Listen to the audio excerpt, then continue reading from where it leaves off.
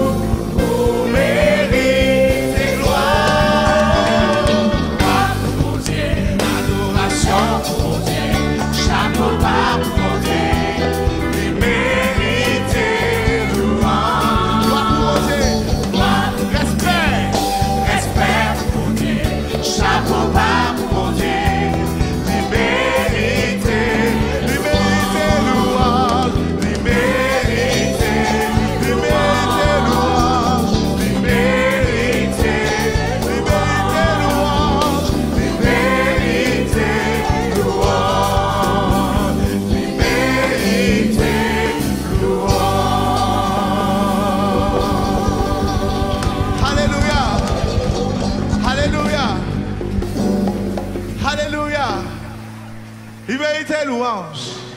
Il méritait toute gloire. Alléluia. Sous ma vie, vieux frère, c'est grâce bon Dieu sous moi. C'est pas rien fait pour ça, c'est garder me garder. Sous ma vie, sous ma vie, vieux frère, c'est grâce bon Dieu sous moi. C'est pas rien fait pour ça, c'est garder me garder. Qui t'aime louer, qui t'aime louer, qui t'aime louer, qui t'aime louer. te m'adorer, il te m'adorer.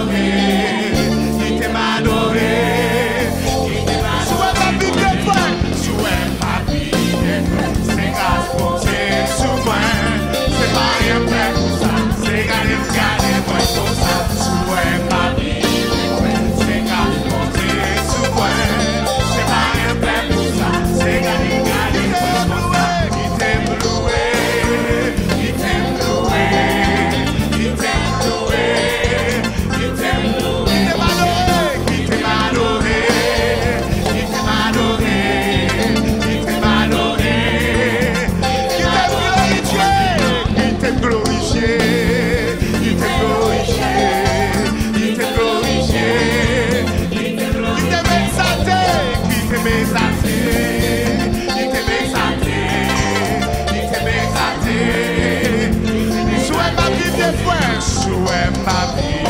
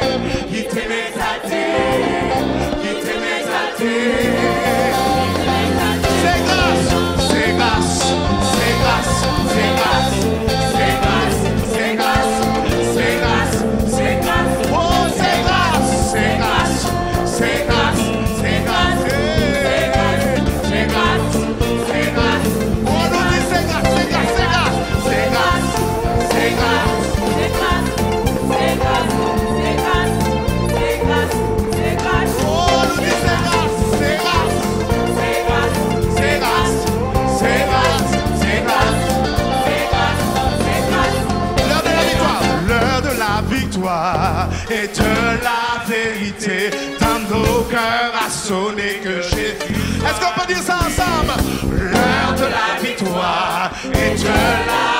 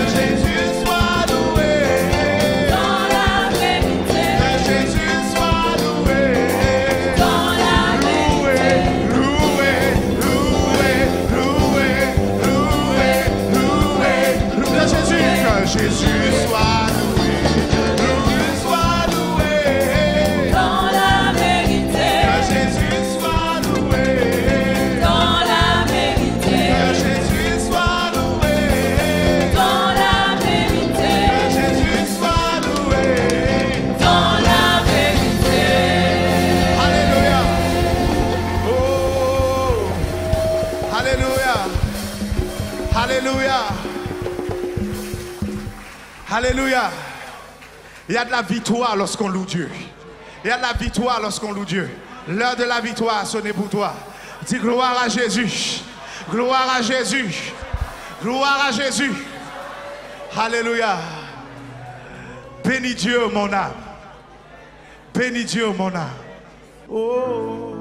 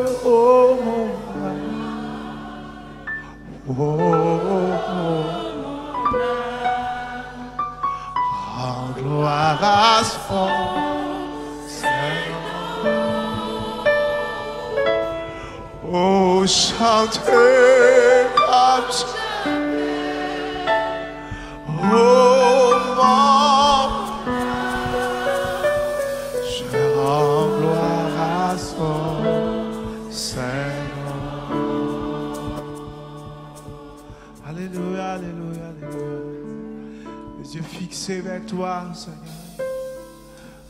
J'oublie les problèmes autour de moi pour t'adorer, Seigneur.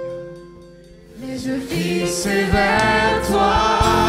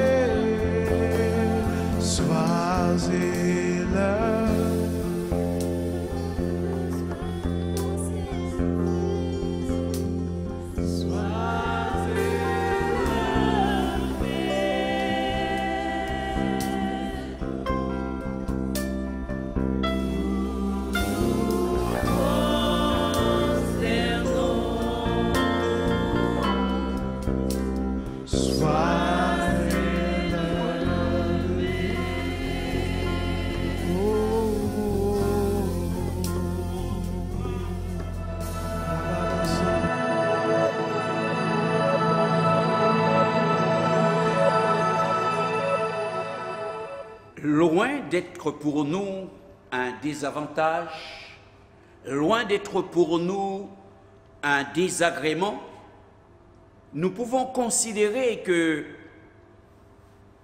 la situation créée par le Covid-19, le confinement et les inquiétudes qui accompagnent tout cela, eh bien peut-être pour nous un bon moment et un bon moment de réflexion. C'est pourquoi, laissez-moi vous dire qu'il serait bien que nous puissions avec attention porter sur cette situation un regard, un regard de sagesse, un regard spirituel, le regard d'hommes et de femmes qui connaissent les choses de Dieu et qui voudraient ainsi comprendre quel est le message divin au travers de ce que nous vivons? Le Covid-19, indiscutablement, lorsque nous considérons tout ce qu'il en est, a besoin d'une réponse sanitaire. Il a besoin d'une réponse sociale,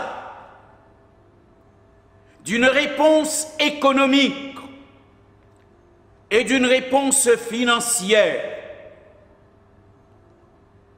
Mais toutes ces choses, nos gouvernants s'en occupent, nos politiques s'affairent de manière à ce que cela soit le mieux possible. Mais il faut également à cette situation apporter une explication et une réponse spirituelle. Et cela, c'est la responsabilité du peuple de Dieu. Cette crise mondiale vient rappeler à chacun un certain nombre de choses. Je vous en ai énuméré, je vous en ai écrit quelques-uns que je voudrais vous énumérer. D'abord, cette crise et le Covid-19 vient nous rappeler combien tout est vanité et poursuite du vent. Combien en un instant, les choses pour lesquelles on misait le plus, les choses pour lesquelles les plus grandes folies de dépenses étaient faites, sont brusquement arrêtées.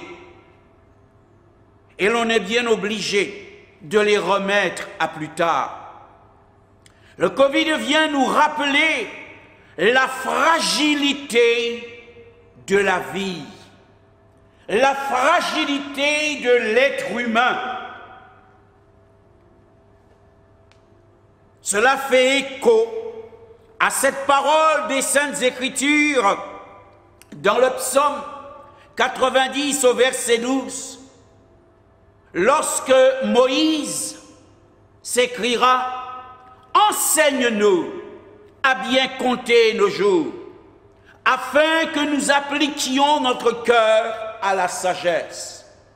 Effectivement, parce que nous sommes fragiles et parce que cela, cette situation nous a rappelé que même les plus costauds, les mieux aguerris, peuvent en un instant s'en aller, alors nous avons besoin d'écouter ce conseil divin et ainsi de bien compter nos jours, de faire donc attention et d'appliquer notre cœur à la sagesse. Le Covid vient nous rappeler la nécessité d'être prêt à tout moment. Et là, je parle d'abord aux amis chrétiens, d'être prêt à tout moment. Comprenez un instant quelque écart, quelque abandon, quelques moments de tiédeur, et vous voici pris dans l'engrenage dans cette chose, et vous vous voyez partir sans être prêt. Hélas, soyez donc prêts, et comme dirait l'apôtre, eh bien, acceptez de vous traiter durement, afin qu'après avoir connu les voies saintes et d'avoir enseigné les choses saintes, que vous-même, vous ne soyez rejetés. le Covid nous rappelle que la prophétie biblique est vraie, que la prophétie biblique est véritable, parce que quoi que l'on dise, en faisant un regard spirituel sur cette situation qui est devenue mondiale, c'est pourquoi on a ainsi déclaré la chose une, pandémie. Il y a là une interpellation biblique. Il y a là une interpellation des paroles des Écritures concernant les derniers temps. Nous ne pouvons pas laisser ces choses passer et ainsi n'apporter aucune importance. Et s'il est vrai que nous n'avons pas besoin de faire du catastrophisme, nous sommes obligés de reconnaître que la société est de plus en plus inquiète, car les différents systèmes de sécurité dans lesquels nous nous confions sont mis à mal, sont bousculés, s'avèrent comme inefficaces. Et ces choses-là viennent nous dire ce que la Bible a décrit bien longtemps avant, qu'il arrivera que quand on se croira en sécurité, et l'on s'écrira paix et sécurité, une win soudaine les surprendra. Alors, quel regard spirituel sur cette chose? Comment donc considérer cette situation? La Bible dit, elle fait cette déclaration à chacun. Au jour du bonheur, sois heureux. Et au jour du malheur, réfléchis car Dieu a fait l'un comme l'autre, afin que l'homme ne découvre rien de ce qui restera après lui. Et puisque c'est un temps de malheur, alors acceptons de réfléchir. S'il vous plaît, ne banalisons pas les choses. Ne soyons pas superficiels mais acceptons de prendre conscience qu'il faut vivre un véritable métanoïa provoqué par le Saint-Esprit pour que nous puissions connaître un nouvel engagement. Parce que ce qui se fait, n'est-ce pas la résultante d'une certaine d'une certaine chose, si l'on ne regarde qu'au sens euh, sanitaire, notant scientifique de la chose, on ne pourrait pas voir cela. Mais toi qui es chrétien, toi qui connais les choses de Dieu, alors pourquoi ne pas considérer cette chose dans tous ses aspects? Nous sommes dans un monde où la moralité est en déclin. Nous sommes dans un monde où les temps sont devenus difficiles à cause de ce que sont devenus les hommes. Tout est sujet à profit. Un égoïsme sans frein et sans limite s'exprime. Et cela, d'une manière ou d'une autre, non seulement entre les hommes, rend la vie difficile alors qu'on nous l'avait promise meilleure, mais encore, cela conduit à ce que ce que la Bible a déclaré plus tôt, eh bien, puisse s'accomplir. Pour y parvenir à ce métanoïa, pour parvenir à cette prise de conscience, ce dont nous avons alors besoin, c'est de consulter la parole de Dieu est la réponse à tout. Et c'est elle qui est l'essentiel. En des moments difficiles, ceux qui nous ont précédés, parce qu'il n'y a rien de nouveau sous le soleil, ont eu un certain élan de cœur vers la parole. Je veux citer Daniel qui dira dans la première année de Darius au chapitre 9 de son livre, fils d'Assuérus, de la, race des mers, lequel était devenu roi du royaume des Chaldéens, la première année de son règne. Moi, Daniel, je vis par les livres qui devaient s'écouler 70 ans pour les ruines de Jérusalem. Il s'écrit, je vis par les livres, j'ai vu par les livres qu'il devait s'écrouler 70 ans. C'est un homme qui consultait les Écritures. Et en étant difficile, il a su, au travers des Écritures, trouver une réponse. Et il nous dit alors, je priais l'Éternel mon Dieu, et je lui fis cette confession. Seigneur Dieu grand et redoutable, toi qui gardes ton alliance et qui fais miséricorde à ceux qui t'aiment et qui observent tes commandements et ainsi de suite. Oui, ce dont nous avons besoin, c'est un retour à la parole. Un retour à la parole qui éveille les cœurs. Un retour à la parole pour que de nouveau l'homme soit sensibilisé sur les déclarations, sur les injonctions, sur les ordres de Dieu. Esdras, la Bible nous dit, dans son chapitre, le chapitre 8 et le verset 3 du livre de Néhémie, il est dit Esdras lu dans le livre depuis le matin jusqu'au milieu du jour, sur la place qui est devant la porte des eaux, en présence des hommes et des femmes, et de tous ceux qui étaient capables d'entendre la parole tout le peuple fut attentif à la lecture du livre de la loi. Tout le peuple fut attentif. Ils étaient là et l'Écriture nous dit qu'ils se mirent à pleurer quand ils entendirent les paroles de Dieu, quand ils entendirent ce que Dieu disait dans sa parole. Ils comprirent alors que leur malheur était parce qu'ils s'étaient éloignés du livre saint. Ils avaient éloigné leur vie des directions de Dieu.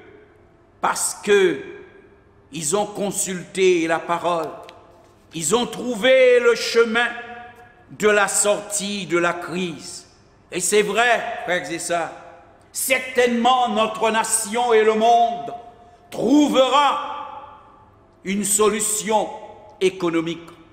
Certainement nos savants, nos chercheurs et autres trouveront des solutions pour avoir un vaccin et autres contre cette pandémie.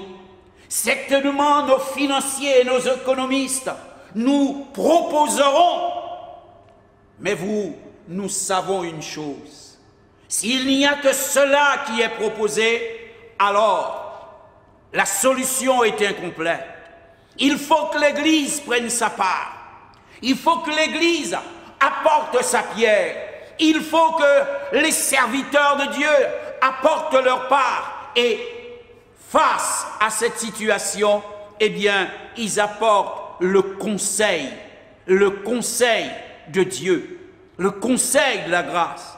Cette parole, c'est la parole qui va, comme dans Ninive, créer une repentance qui a touché le cœur et le cœur du peuple, le cœur du roi. La Bible nous dit, la parole de l'Éternel fut adressée à Jonas une seconde fois en ces mots, Lève-toi, va à Ninive, la grande ville, et proclame-y une proclamation que je t'ordonne. Et Jonas se leva, il alla à Ninive, selon la parole de l'Éternel. Or, Ninive était une très grande ville, de trois jours de marche. Jonas fit d'abord dans la ville une journée de marche et il criait et disait, encore quarante jours et Ninive est détruite. les gens de Ninive crurent à Dieu. Ils publièrent un jeûne et revêtirent de, se revêtirent de ça, depuis le plus petit jusqu'au plus grand. La chose parvint au roi de Ninive. Il se leva de son trône, ôta son manteau, se couvrit d'un sac et s'assit sur la cendre. Et il fit faire dans Ninive cette publication par ordre du roi et de ses grands, que les hommes et les bêtes, les bœufs et les brebis, ne goûtent rien, ne pèsent point et ne boivent point d'eau, que les hommes et les bêtes soient couverts de sacs, qu'ils crient à Dieu avec force et qu'ils reviennent tous de leur mauvaise voie, qu'ils reviennent tous de leur mauvaise voie afin que de détourner la colère de l'Éternel et qu'ainsi nous ne puissions pas périr. La Bible nous dit au verset 10, Dieu vit qu'ils agissaient ainsi et qu'ils revenaient de leur mauvaise voie. Alors Dieu se repentit du mal qu'il avait résolu de le faire et il ne le fit pas. Oui, lorsque la situation est grave, ce n'est pas le moment de mettre Dieu de côté. Ce n'est pas le moment de croire que la parole est dépassée, mais justement, c'est le moment de la mettre au cœur de notre action. C'est le moment de calquer nos décisions avec les conseils que la parole nous donne, avec l'instruction que la parole nous donne. Un retour à la parole, c'est ce dont nous avons besoin. Car s'il est vrai que dans les décennies passées, et même dans le siècle passé, alors jamais la parole n'a été aussi répandue. Jamais il n'y eut de prédication sur, dans toutes les formes et utilisant tous les moyens, chacun, petits et grands, quelle que fût leur situation, leur rang, la parole leur est venue. Mais nous pouvons dire, c'est comme si nous étions passés à peu à de l'abondance dans ce domaine. Car la Bible est dans toutes les mains aujourd'hui. La Bible est dans tous les milieux. Mais il y a un mais. Et ce mais, c'est que malheureusement, c'est pas que la Bible est peu lue. Ce n'est pas que la Bible soit peu entendue. Non, mais la Bible est peu pratiquée. Et c'est là que le bas blesse. Elle est peu pratiquée. Et quand je vous invite à vous dire, revenons à la parole, c'est à cela que je voudrais vous engager. Quand je vous invite à un métanoïa c'est exactement à cela que je voudrais vous inviter à revenir. Non pas seulement, vous avez certainement votre Bible en main, vous la lisez, mais je vous invite à une pratique réelle. Je vous invite à une pratique authentique, parce que c'est ce dont nous avons besoin. Nous avons besoin d'une parole aujourd'hui aussi, venue d'en haut, une parole communiquée par Dieu à son Église pour un monde en détresse. Une parole qui conduira les uns et les autres à reconnaître que c'est l'Éternel qui est Dieu. Nous avons besoin d'une parole comme celle que l'apôtre Pierre prononça le jour de la Pentecôte et qui conduisit chacun à voir sa situation devant Dieu et chercha, réclama le salut. Mais pour qu'il en soit ainsi, il faut que les possesseurs de la parole, il faut que ceux qui se disent amis de la parole, il faut que ceux qui se disent se nourrir de la parole, retournent à la parole dans une pratique profonde et dans une pratique réelle. C'est cela pour moi le regard spirituel que l'on peut faire de la situation sans pour autant faire du catastrophisme. Oui, laissez-moi vous dire, il est temps, il est temps. La parole de Saintes Écritures, du psaume 119 et du verset 72, qui dit, Mieux vaut pour moi la loi